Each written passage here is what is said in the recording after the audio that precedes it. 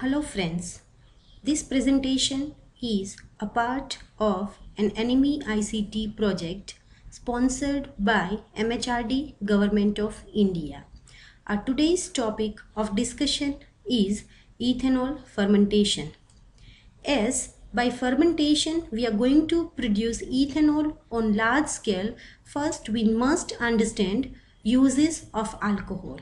There are various uses of alcohol such as ethanol is used as an organic solvent in variety of products. The most popular use of ethanol is as motor fuel and fuel additive like gasohol. Ethanol is used as a potent food preservative at home. Ethanol is used as the fluid in thermometers. It is used in making antiseptic soap and cosmetics as it is having antimicrobial and antifungal activities. Ethanol is routinely consumed in different forms around the world like beer, wine, gin, whiskey, etc. Ethanol plays an important role in making drugs and pharmaceuticals. Ethanol is again used in the preparation of essence and flavorings. It is, re, it is renewable in nature which is useful for fueling clean environmental friendly compartments. Ethanol is also used in preserving, uh, preserving biological specimens. In 1906, when the Industrial Alcohol Act was passed, the production of industrial alcohol, that is ethanol, became commercially feasible on a large scale. This act allowed the sale of tax-free alcohol if alcohol has first denatured to avoid its use in various alcohol beverages. But as it is a type of microbial product, biochemical process should be there behind production of ethanol. It is a biological process in which sugars are utilized to produce ethanol and carbon dioxide as metabolic waste products this process is a complicated sequence of transformations carried out by yeast cells that converts glucose to carbon dioxide and alcohol. Before fermentation, one glucose molecule is converted into two pyruvate molecules by glycolysis. And as we all know, glycolysis is the first level of aerobic respiration. Most species of yeast will produce ethanol only under anaerobic condition. So ethanol fermentation is classified as an anaerobic process. However, many yeast such as Saccharomyces cerevisiae as well as Schizosaccharomyces pombe will produce ethanol even under aerobic conditions. Now to establish fermentation industry, our first necessity is fermentation strain. As fermentation microorganisms, all yeast are not suitable. Choice of yeast for the alcohol production depends upon the composition of the medium, particularly the type of carbohydrate used in the medium. So here one table is given which shows various raw materials used in medium with specific strain of yeast. Whenever starch and sugar are utilized as raw material, Saccharomyces cerevisiae will be utilized as fermentation strain. But in the presence of lactose of whey, Candida pseudotropicalis is utilized and whenever sulfite waste liquor will be there as a raw material, Candida utilis is useful.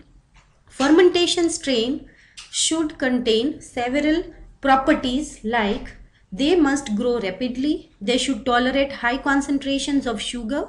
They must be able to produce abundant amounts of alcohol. They must be resistant to the produced higher concentration of alcohol. This process is used in the production of alcoholic beverages, ethanol fuel, as well as in the rising of bread dough. Fermentation media. The media for the commercial production includes blackstrap molasses or corn, potatoes, grains, wood waste, sulfite waste liquor, whey, etc. For the molasses fermentation, to keep final sugar concentration between 10 to 18% because concentration greater than 20% are detrimental to yeast. The pH of the medium is set between 4.8 to 5. Some starchy media like corn, rye and barley can be utilized but initial starch hydrolysis is necessary. This can be done by squashing with barley malt by mixing with dilute acids or by utilizing amylolytic enzymes of fungi like aspergillus and rhizopus. When ethanol fermentation is going on in large reactors, temperature should be kept between 21 to 27 degrees centigrade. But as heat gets evolved, it raises the temperature up to 30 degrees centigrade which bring down by cooling by cooling coils. Fermentation continues for 2 to 3 days but exact time period is based on the substrate utilized and temperature. At the end, fermentation broth contains 6 to 9% alcohol by volume. This alcohol yield reflects 90 to 98% theoretical conversion of substrate sugar to alcohol. So yields should not be confused with proof as proofing means alcohol concentration designation and it will be twice the percentage in volume of ethanol as dissolved in water. For example, 70% ethanol is 140 proof. Last most important stage is recovery of product. Ethanol is separated from fermentation broth in continuous stills ethanol of 95% concentration is obtained by successive distillations. To obtain 100% or absolute alcohol, special distillation technique is required. For that, 5% water is removed by forming an azeotropic mixture of benzene, water and ethanol, which then is distilled with increasing temperature. This procedure removes first the azeotropic benzene ethanol water mixture and then benzene ethanol mixture so that absolute ethanol remains. So by that we have completed discussion of each and every parameter of alcohol fermentation. Thank you.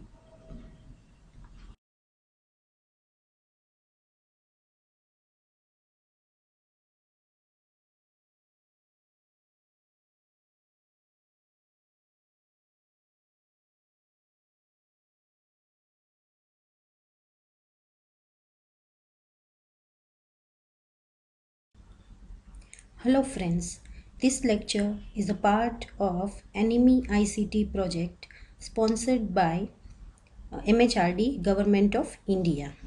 Our today's topic of discussion is citric acid fermentation. Citric acid is an organic acid having number of applications like it is used as an acidulant in the pharmaceutical industries as well as food industries it is extensively used in the production of carbonated drinks.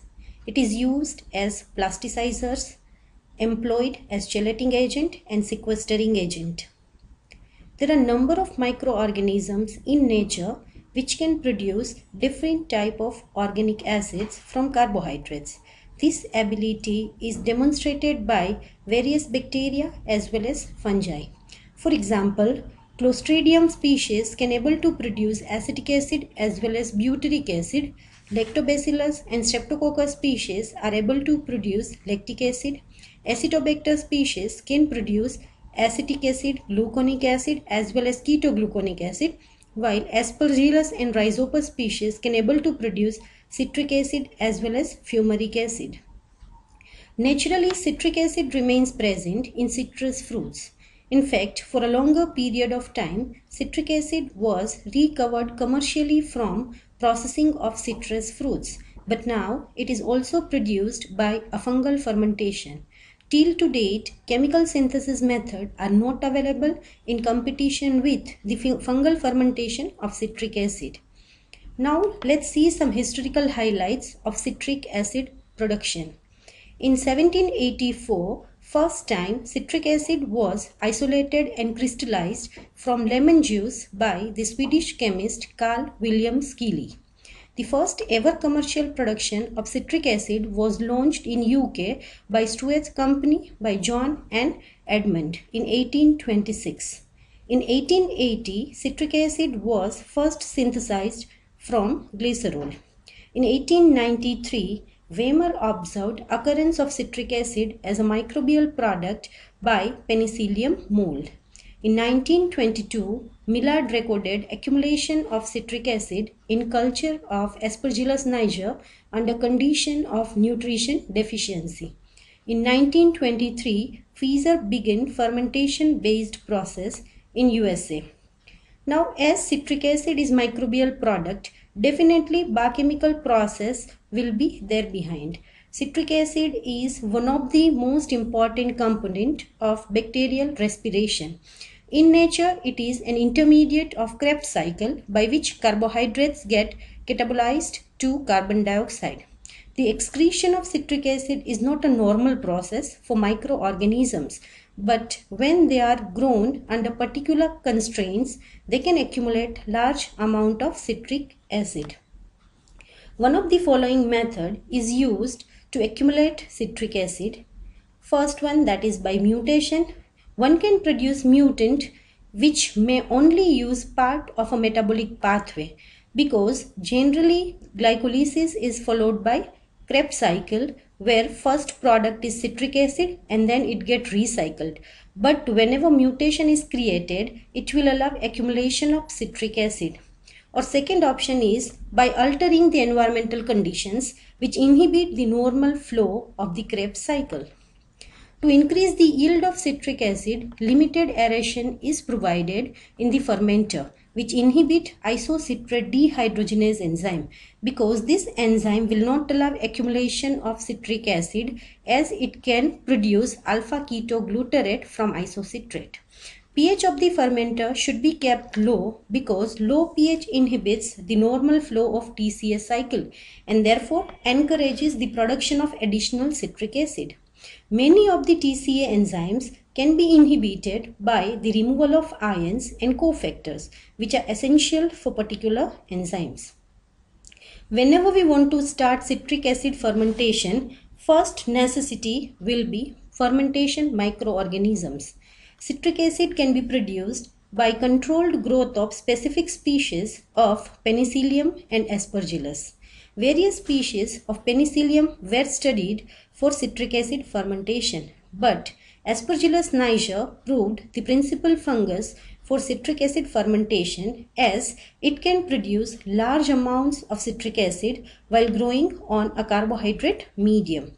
Various criteria should be checked for the selection of production strain like it should produce high yield of citric acid, an adequate amount of sporulation should be there, strain should be genetically stable, it should lack ability to degrade main product that is citric acid and it should lack simultaneous production of other organic acids like gluconic acid, oxalic acid, malic acid, etc. To achieve abundant excretion of citric acid, we need to keep some points in our mind that sugar concentration should be high, either nitrogen or phosphorus concentration should be limited and concentration of heavy metals including iron and manganese should be very low. Citric acid fermentation is carried out by any one of three processes that is solid state fermentation, liquid surface culture and submerged culture process. Now first one is solid state fermentation. Now this is the process where we need to provide solid form of raw material which will provide physical as well as nutritional support. Basically it is Japanese process in which special strains of Aspergillus niger are used with solid substrate such as sweet potato starch. Mold is used to which wheat bran was substituted. The pH of bran was adjusted between 4 to 5 and additional moisture is picked up during steaming so as to get water content of mash around 70 to 80 percent. After cooling the bran to 30 to 60 degrees centigrade, the mass is inoculated with kozi which was made by special strain of Aspergillus niger. Since bran contains starch which on saccharification produces citric acid by amylase of Aspergillus niger. Bran after incubation is spread in trays to a depth of 3 to 5 centimeter and kept for incubation at 25 to 30 degrees centigrade. After 5 to 8 days, Kozi is harvested and citric acid is extracted. Another process is liquid surface culture process. In this case, nutrients should be provided in liquid form and organisms should be inoculated in such a way that they can grow on the surface. In this case, aluminium or stainless steel shallow pans or trays are used. Sterilized medium contains molasses and salts. Fermentation is usually carried out by blowing spores of Aspergillus niger over the surface of the solution for 5 to 6 days. Spore germination occurs within 24 hours and a white mycelium grows over the surface of the solution. After 8 to 10 days of inoculation, liquid can be drained off and citric acid can be extracted from the mycelial mat. Last process is submerged culture process. Again, we need to provide nutrients in the form of liquid state, but organisms are allowed to grow inside the liquid. This method is quite economical.